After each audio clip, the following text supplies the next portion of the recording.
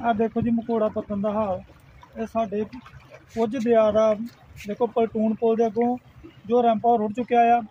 ਇਹ ਪਿੱਛੇ ਵੀ ਕਿਤਨਾ 19 ਤਰੀਕ ਨੂੰ ਵੀ ਰੁੜ ਚੁੱਕਿਆ ਸੀਗਾ, ਉਸ ਦਿਨ ਗਵਰਨਰ ਸਾਹਿਬ ਨੇ ਆਉਣਾ ਸੀਗਾ। ਪ੍ਰਸ਼ਾਸਨ ਨੇ ਛੇਤੀ ਤੋਂ ਛੇਤੀ ਬਣਾਤਾ ਸੀਗਾ। ਇਹ ਹੁਣ ਫੇਰ ਅੱਗੋਂ ਰੈਂਪ ਰੁੜ ਚੁੱਕਿਆ। ਇੱਥੇ ਕੋਈ ਅਧਿਕਾਰੀ ਨਹੀਂ ਆ ਰਿਹਾ। ਇਹ ਲੋ ਸਰਕਾਰਾਂ ਅੱਗੇ ਅਪੀਲ ਆ ਵੀ ਛੇਤੀ ਤੋਂ ਛੇਤੀ ਸਾਡਾ ਜਿਹੜਾ ਰੈਂਪ ਬਣਾ ਦਿੱਤਾ ਜਾਏ। ਕਿਉਂ ਲੋਕਾਂ ਨੂੰ ਲੰਘਣ ਦੀ ਬਹੁਤ ਦਿੱਕਤ ਹੋ ਰਹੀ ਆ। ਛੇਤੀ ਤੋਂ ਛੇਤੀ ਸਰਕਾਰਾਂ ਅੱਗੇ ਅਪੀਲ ਕਰਨੇ ਆ। ਕਿ ਆਪਣੇ ਅਫਸਰਾਂ ਨੂੰ ਕਹਿ ਕੇ ਜਿਹੜਾ ਸਾਡਾ ਰੈਂਪ ਹੈ ਇਹ ਬਣਾ ਦਿੱਤਾ ਜਾਏ। ਦੋ ਦਿਨਾਂ ਤੋਂ ਲਗਾਤਾਰ ਹੋ ਰਹੀ ਬਰਸਾਤ ਦੇ ਕਾਰਨ ਜਿੱਥੇ ਲੋਕਾਂ ਨੂੰ ਕਾਫੀ ਮੁਸ਼ਕਲਾਂ ਦਾ ਸਾਹਮਣਾ ਕਰਨਾ ਪੈ ਰਿਹਾ, ਉੱਥੇ ਹੀ ਹੁਣ ਰਾਵੀ ਦਰਿਆ ਦੇ ਉੱਤੇ ਬਣਿਆ ਪੁਲ ਵੀ ਟੁੱਟਦਾ ਨਜ਼ਰ ਆ ਰਿਹਾ ਹੈ, ਕਿਉਂਕਿ ਲਗਾਤਾਰ ਭਾਰੀ ਬਰਸਾਤ ਹੋ ਰਹੀ ਹੈ।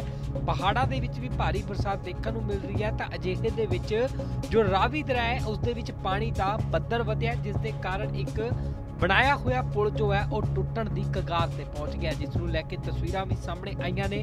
ਹਾਲਾਂਕਿ ਲੋਕਾਂ ਨੇ ਪ੍ਰਸ਼ਾਸਨ ਨੂੰ ਇਸ ਨੂੰ ਜਲਦੀ ਤੋਂ ਜਲਦੀ ਠੀਕ ਕਰਵਾਉਣ ਦੀ ਮੰਗ ਕੀਤੀ ਹੈ। ਲੋਕਾਂ ਦਾ ਇੱਥੋਂ ਤੱਕ ਕਹਿਣਾ ਸੀ ਕਿ 12 ਦਿਨ ਪਹਿਲਾਂ ਹੀ ਇਸ ਦੀ ਮੁਰੰਮਤ ਹੋਈ ਸੀ, ਜਦਕਿ ਇਹ ਇੱਕ ਵਾਰ ਫੇਰ ਤੋਂ ਮੁੜ ਕੇ ਟੁੱਟ ਚੁੱਕਾ ਹੈ, ਜਿਸ ਦੇ ਕਾਰਨ ਕਈ ਪਿੰਡਾਂ ਦਾ ਸੰਪਰਕ ਵੀ ਹੁਣ ਇੱਕ ਦੂਜੇ ਨਾਲੋਂ ਟੁੱਟਦਾ ਨਜ਼ਰ ਆ ਰਿਹਾ ਤੇ ਲੋਕਾਂ ਨੂੰ ਆਉਣ ਜਾਣ 'ਚ ਕਾਫੀ ਦਿੱਕਤਾਂ ਦਾ ਸਾਹਮਣਾ ਕਰਨਾ ਪੈ ਰਿਹਾ ਹੈ। ਤਾਂ ਦੱਸ ਦਈਏ ਕਿ ਮਕੋੜਾ ਪੱਤਣ ਦੇ ਉੱਤੇ ਜੋ ਰਾਵੀ ਦਰਿਆ ਤੇ ਪੁਲ ਬਣਾਇਆ ਗਿਆ ਸੀ, ਉਹ ਟੁੱਟ ਚੁੱਕਾ ਹੈ। ਕਿਹਾ ਜਾ ਰਿਹਾ ਕਿ ਜੋ ਇਸ ਦਾ ਅਗਲਾ ਹਿੱਸਾ ਹੈ, ਉਹ ਮਿੱਟੀ ਦੇ ਨਾਲ ਬਣਾਇਆ ਹੋਇਆ ਸੀ, ਪਰ ਪਾਣੀ ਦਾ ਪੱਧਰ ਜਦੋਂ ਵਧਿਆ ਤਾਂ ਮਿੱਟੀ ਸਾਰੀ ਹੀ ਖੁਰ ਗਈ, ਜਿਸ ਦੇ ਕਾਰਨ ਪੁਲ ਤੇ ਆਉਣ ਜਾਣ ਦੀ ਜੋ ਸੁਵਿਧਾ ਸੀ, ਉਹ ਬਿਲਕੁਲ ਹੀ ਘਟ ਚੁੱਕੀ ਹੈ ਤੇ ਕਿਹਾ ਜਾ ਰਿਹਾ ਕਿ ਇੱਥੇ ਆਏ ਦਿਨ ਕੋਈ ਨਾ ਕੋਈ ਵੱਡਾ ਹਾਦਸਾ ਵੀ ਵਾਪਰ ਸਕਦਾ ਹੈ। ਜੇਕਰ ਇਸ ਦੀ ਮੁਰੰਮਤ ਨਹੀਂ ਹੁੰਦੀ। ਤਾਂ ਦੱਸ ਦਈਏ ਕਿ ਹੁਣ ਮੁੜ ਤੋਂ ਫਿਰ ਪ੍ਰਸ਼ਾਸਨ ਦੇ ਕੋਲ ਲੋਕਾਂ ਨੇ ਇਸ ਨੂੰ ਜਲਦੀ ਤੋਂ ਜਲਦੀ ਦਰੁਸਤ ਕਰਨ ਦੀ ਮੰਗ ਕੀਤੀ ਹੈ।